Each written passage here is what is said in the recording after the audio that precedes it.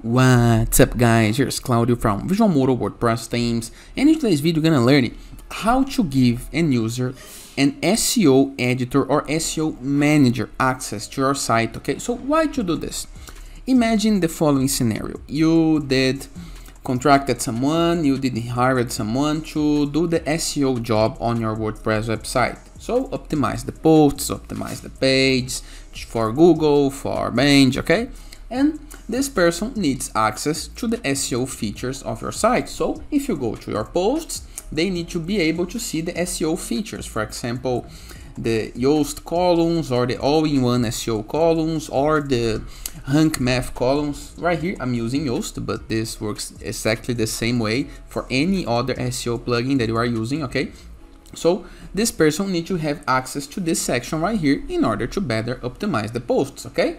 Correct? So how to do access to this person without giving access to other site features, for example, the menu features, the products features, the WooCommerce features, okay?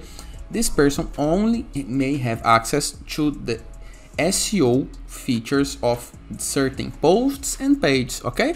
So how to do this is what you're gonna learn into this video in a simple way, but before I can continue, please take a moment to hit the subscribe button, like this video and share this content with a friend of yours. I have no idea how much it helps us, cause we bring daily videos about WordPress, SEO, plugins, optimizations and many more options in order to use internets on your site's favor for free. So let's keep this started.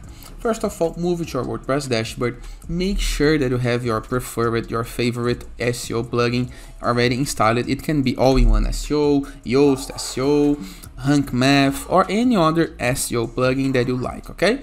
After the plugin installed, you're gonna need to create a user for this person who's gonna do the SEO work on your site, okay?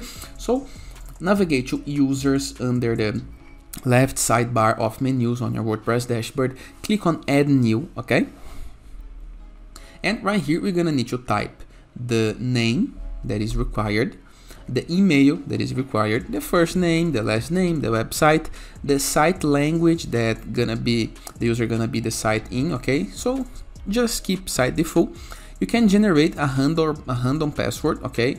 In order to keep a, a strong password, okay? Or use the, your your user's password send user notifications it's important and this is the most important part okay the rule okay and from rule normally the user is a subscriber but we want that this person can be an SEO editor or SEO manager.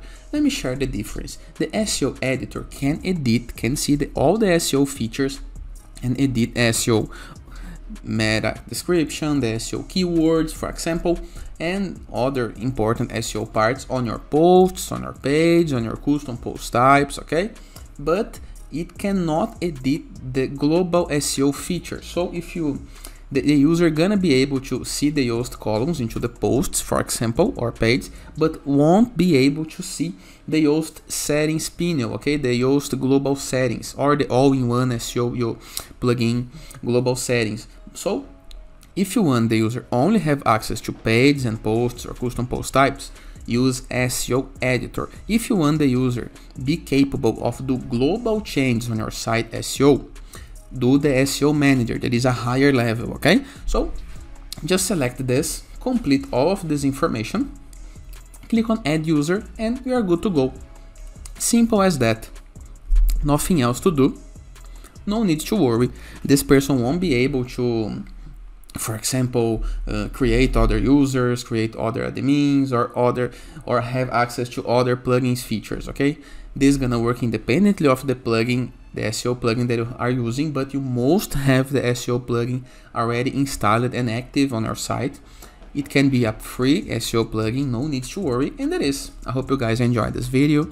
Feel free to use the comment section below in the case that you have any question and don't forget to check out our Borderless WordPress plugin in order to gain widgets, elements, templates, and tools to build up your site using Elementor or Gutenberg blocks editor, okay? And even pre-built templates that you can import with a single click, that is pre-built websites, okay?